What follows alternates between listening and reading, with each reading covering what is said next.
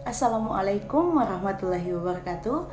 Perkenalkan, saya Mary Nurlianti Pakaya, NIM 1062050 dari program studi S1 Kedokteran Gigi. Di sini saya akan menjelaskan mengenai apa sih penyebab gigi kita menjadi kuning dan bagaimana cara mencegahnya. Nah, seiring bertambahnya usia, lapisan enamel gigi yang putih makin tipis sehingga lapisan dentin yang berwarna kuning makin terlihat. Selain itu, makanan dan minuman yang kita konsumsi sehari-hari uh, dapat mempercepat perubahan warna gigi menjadi kuning. Uh, kandungan kromogen, kromogen atau zat warna dalam makanan dan minuman adalah salah satu penyebab utama gigi berubah warna menjadi kuning. Eh, zat warna ini dapat menyebabkan noda pada lapisan enamel. Selain kandungan kromogen, tingkat keasaman makanan juga berdampak pada warna gigi. Karena tingkat keasaman yang tinggi dapat mengikis lapisan enamel.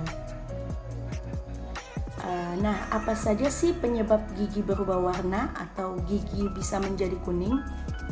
Eh, beberapa hal berikut ini bisa menyebabkan terjadinya perubahan warna pada gigi. Di antaranya yang pertama wine, uh, yang kedua kopi dan teh, uh, yang ketiga minuman bersoda, yang keempat sering mengonsumsi permen, yang kelima merokok dan yang keenam kesehatan gigi yang buruk.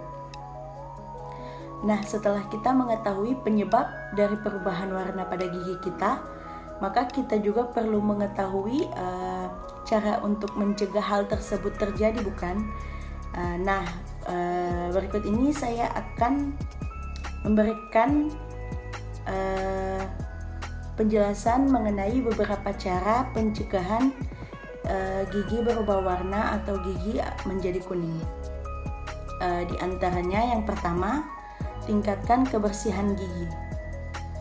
Bersihkanlah gigi secara teratur dengan cara menyikat dan flossing setelah sarapan dan sebelum tidur malam. Selain itu, pastikan untuk mengunjungi dokter gigi setiap enam bulan sekali ya. Dan yang kedua yaitu uh, gunakan sedotan. Memak uh, memakai sedotan saat mengonsumsi jus, minum minuman berkarbonasi dan teh biasanya mengurangi noda gigi. Dengan begini, minuman bisa langsung tertelan dan minim kontak dengan gigi. Eh, nah, cara yang ketiga yaitu kita bisa berkumur-kumur. Eh, berkumur-kumur lebih aman dilakukan setelah makan daripada langsung menyikat gigi. Eh, selain berkumur, mengunyah permen karet tanpa gula juga bisa dilakukan agar noda tidak bertahan lama di gigi.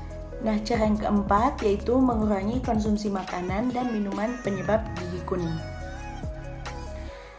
hal ini mungkin sulit untuk uh, menghilangkan kebiasaan mengonsumsi makanan dan minuman tersebut secara sekaligus. Uh, nah, kita uh, kalian bisa mencoba dengan mengurangi konsumsinya. Uh, misal misalnya saja uh, selama ini kalian terbiasa mengonsumsi uh, minuman berkarbonasi, maka menguranginya menjadi seminggu sekali. Uh, bukan hal yang terlalu sulit, bukan? Demikian juga dengan merokok. Uh, ingat, mengurangi kebiasaan merokok ini uh, bukan hanya akan baik untuk kesehatan mulut dan gigi, tetapi juga baik untuk kesehatan jantung dan paru-paru kita semua, khususnya bagi para perokok. Uh, baik, mungkin hanya ini yang uh, dapat saya sampaikan. Lebih dan kurangnya saya mohon maaf. Wassalamualaikum warahmatullahi wabarakatuh. Terima kasih.